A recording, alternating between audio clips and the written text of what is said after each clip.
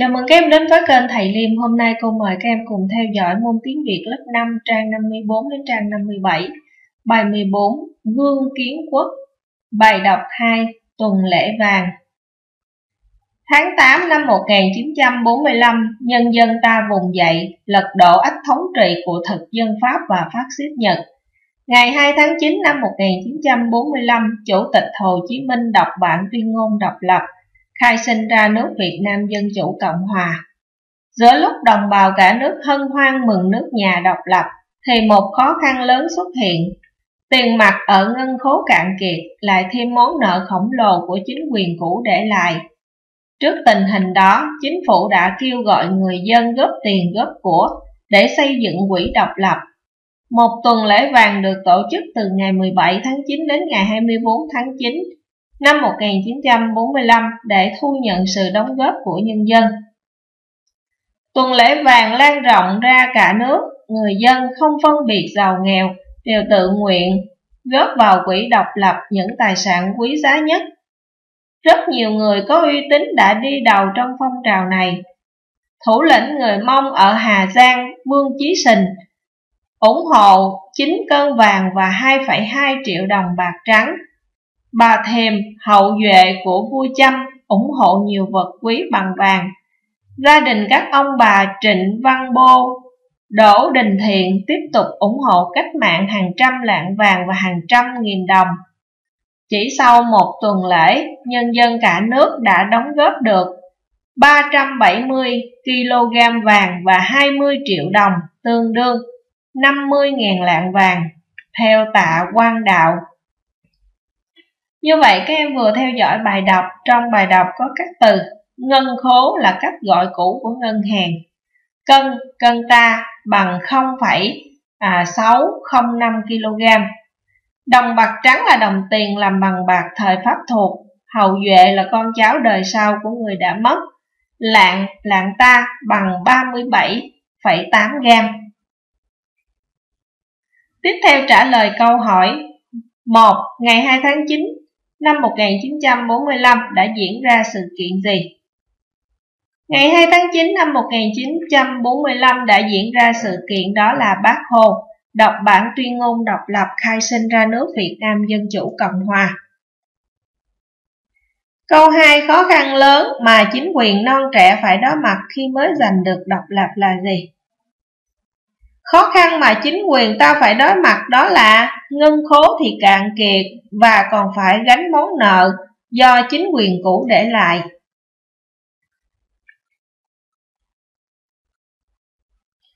Câu 3. Người dân cả nước đã ủng hộ chính quyền cách mạng như thế nào?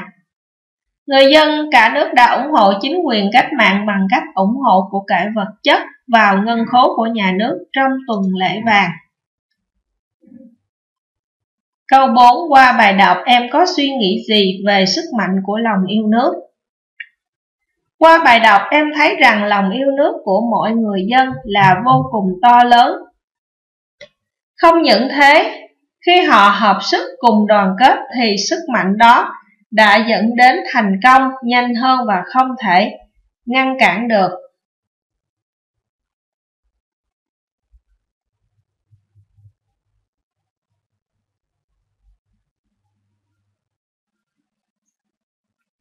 Tiếp theo luyện từ và câu điệp từ, điệp ngữ.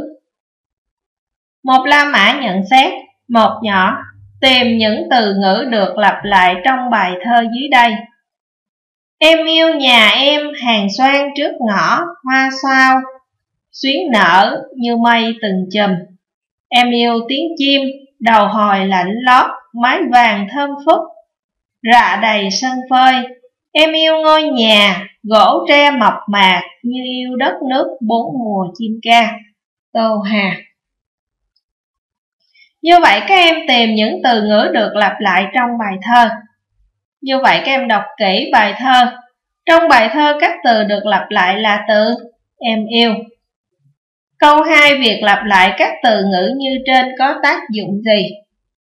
Việc lặp lại các từ ngữ đó có tác dụng làm nổi bật lên tình cảm của em bé đối với thiên nhiên xung quanh. Hay là mã bài học, biện pháp Điệp từ, điệp ngữ là các người nói hoặc người viết lặp lại một hoặc là một số từ ngữ nhằm làm nổi bật một nội dung trong bài nói hoặc bài viết. Từ ngữ được lặp lại được gọi là điệp từ, điệp ngữ. Ba la mã luyện tập một Tìm và đeo tác dụng của điệp từ trong khổ thơ sau. Chợt một tiếng chim kêu, chíp chiêu chiêu xuân đến, tức thì trăm ngọn suối, nổi rót rách đeo mừng. Tức thì ngàn chim muôn nội hát ca vang dậy võ quảng.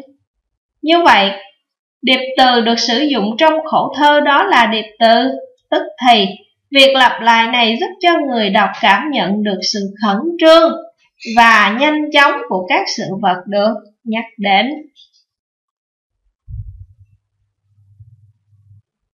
Câu 2. Thay ký hiệu hoa bằng những từ bằng từ ngữ thích hợp để tạo thành điệp từ điệp ngữ. A. Buổi sáng em thức giấc bước ra vườn, khu vườn nhỏ, tràn ngập nắng, nhảy nhót trên tán lá xanh, dệt những sợi tơ mỏng manh trên thảm cỏ, động vàng ống trên những bông cúc dài đó, à, những bông cúc đại đóa kia xa theo răng khoa. B.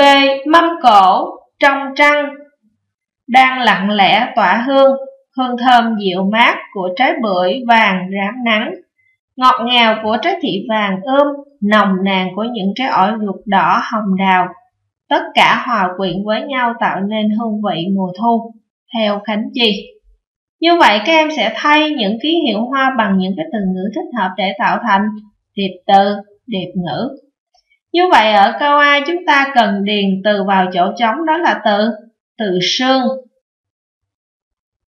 Rồi ở câu B đó là từ từ hương. Từ sương Ở câu A, buổi sáng em thức giấc bước ra vườn, khu vườn nhỏ tràn ngập nắng.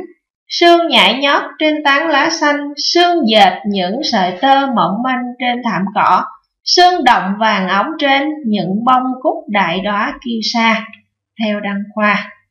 Cầu bề, mâm cổ trong trăng đang lặng lẽ tỏa hương Hương thơm dịu mát của trái bưởi vàng rám nắng Hương ngọt ngào của trái thị vàng ươm Hương nồng nàn của những trái ổi ruột đỏ hồng đào Tất cả hòa quyện với nhau tạo nên hương vị mùa thu theo Khánh Chi Tiếp theo bài viết 2, trả bài văn tả phong cảnh trả bài viết. Thì các em sẽ nghe cô giáo, thầy giáo nhận xét chung về bài viết của cả lớp, rồi các em tham gia sửa bài cùng cả lớp, tự sửa bài văn của mình, đổi bài cho bạn để em kiểm tra việc chỉnh sửa. Lưu ý thì các lỗi thường gặp khi viết bài văn tả phong cảnh đó là A. Về lỗi cấu tạo Lỗi về cấu tạo thì bài văn không đủ các phần mở bài, thân bài hoặc là kết bài. Sắp xếp các đoạn văn trong bài không hợp lý, sắp xếp các ý trong đoạn văn không hợp lý. B. Lỗi về nội dung, miêu tả, dàn trải, không tập trung vào những cái sự vật, đặc điểm nổi bật của phong cảnh, trình tự miêu tả không hợp lý, không thể hiện được tình cảm cảm xúc của người viết đối với phong cảnh được tả.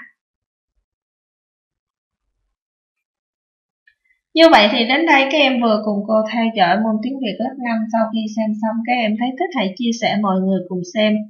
Và đừng quên đăng ký kênh Thầy Liêm để theo dõi những video tiếp theo nhé. Cô chúc em học tốt. Cô chào tạm biệt các em.